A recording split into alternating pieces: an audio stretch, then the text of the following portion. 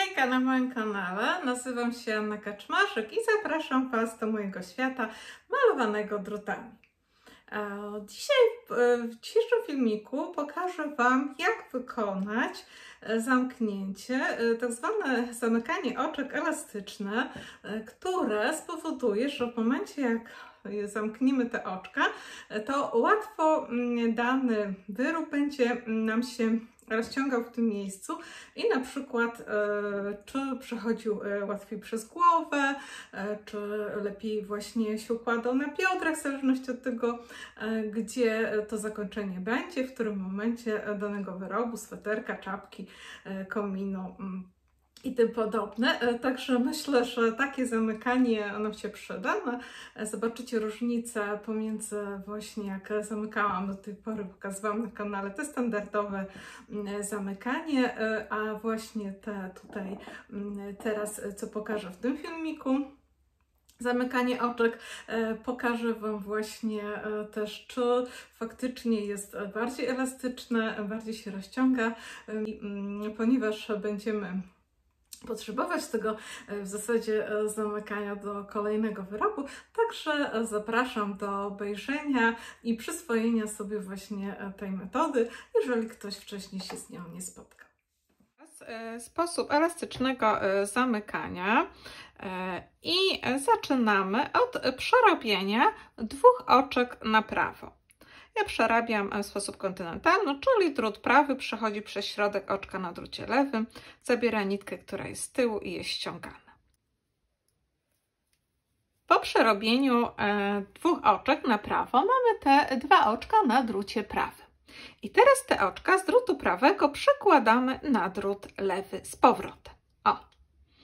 Po przełożeniu dwóch oczek na, na drut lewy z powrotem, przy początku zamykania, to Przekładamy drut prawy od przodu przez te dwa oczka. Zabieramy nitkę, która jest z tyłu. Przeciągamy przez te dwa oczka i ściągamy je, zamykając jako jedno. I na drucie prawym mamy jedno oczko i mamy tutaj pierwsze zamknięcie. Kolejne oczko przerabiamy na prawo. I teraz znowu na drucie prawym mamy dwa oczka. Te dwa oczka Ponownie przekładamy na drut lewy i ponownie drut prawy przechodzi przez te dwa oczka, zabiera nitkę, która jest z tyłu, przeciągana jest ta nitka przez te dwa oczka i jest ściągane.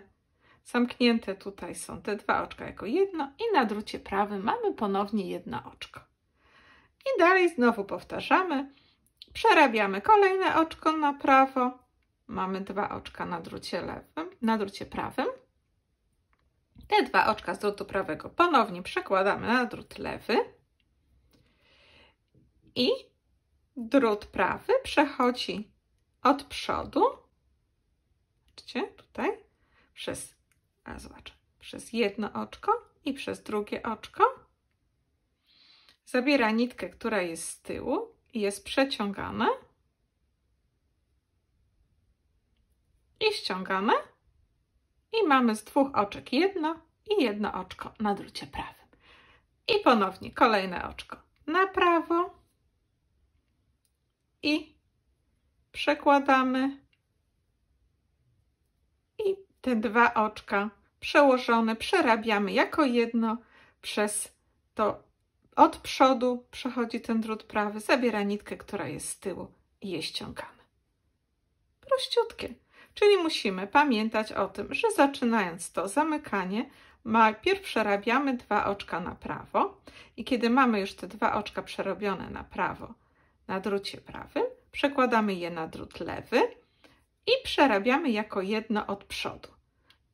A później przerabiamy kolejne na prawo i w tym momencie znowu mamy dwa oczka na drucie prawym, przekładamy je na drut lewy i przerabiamy je jako jedno, zamykając, przez y, przerobienie od przodu i przeciągnięcie tej nitki z tyłu przez te dwa oczka. O. Hmm. Prościutkie, prawda? Zobaczcie, tak nam wychodzi tutaj, ładniutko. Nadzieję, że to widać. O, tak jest z przodu. Robótki, tak z tyłu. Mm. I teraz jeszcze raz Wam pokażę szybciutko. Jest naprawdę prościutkie, ale przyda nam się w wielu projektach, między innymi na przykład w golfikach e, czy w momencie, kiedy chcemy, ażeby otwór na dekolt był dość dopasowany, a jednocześnie, żeby oczywiście przeszedł nam e, łatwo przez głowę. No i w tym momencie takie zamknięcie nam się właśnie przyda. O, czyli tak. Przerabiamy kolejne oczko na prawo jak mamy już te dwa oczka tutaj na drucie prawym, to przekładamy je z powrotem na drut lewy i drut prawy przechodzi od przodu, zabiera nitkę, która jest z tyłu i jest ściągana. Przerobię jeszcze raz hmm. i przerobię może ostatnie oczka z tej mojej tutaj próbki, tym moim standardowym sposobem. Jeszcze jedno przerobię żebyście zobaczyły różnicę już właśnie na jednej próbce, na jednej wełence i wtedy e, będzie Wam e, sobie łatwiej to wszystko może wyobrazić. Czyli teraz ja już tutaj ostatnie oczka przerobię tym e, standardowym moim zamykaniem przez przeciągnięcie, który powoduje, że powstanie łańcuszek i zaraz pokażę Wam, jak to wygląda w całości na tej próbce mojej. Hmm. I tak, i o. Teraz zobaczcie, jak wyszło tutaj. Tak wygląda z przodu. O, w ten sposób. Tak wygląda z tyłu. O, tutaj, zobaczcie. Tak wygląda, zobaczcie, o, jakby brzeg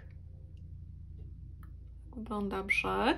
E, I teraz e, zobaczcie różnicę, jeżeli chodzi, a tutaj jest nasze zamykanie, znaczy moje zamykanie e, przez przeciągnięcie, które tworzy łańcuszek.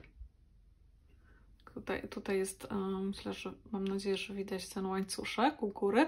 I zobaczcie, on się praktycznie nie rozciąga. Zobaczcie, tak naprawdę trzyma e, fason, trzyma jakby e, formę.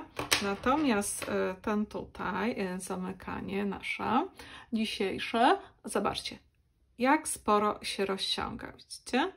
Naprawdę, naprawdę widać, że te tutaj u góry oczka, one właśnie te nitki się rozciągają i ściągają.